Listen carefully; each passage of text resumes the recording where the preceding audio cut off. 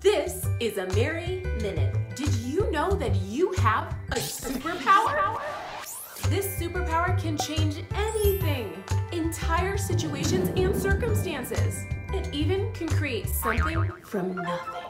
Matter of fact, is one of the greatest superpowers of all times. And each and every one of us has it right here, our tongue. Proverbs 18:21 says, "What you say can mean life or death. Those who speak with care will be rewarded." If we want to see change in our lives, we need to change the words that we speak. But you can't change your words if you can't change your heart. God, today we ask you to change our hearts so that we can speak words of life and walk in the fullness of your power. In Jesus' name, amen. Love you. Bye. Ah. What?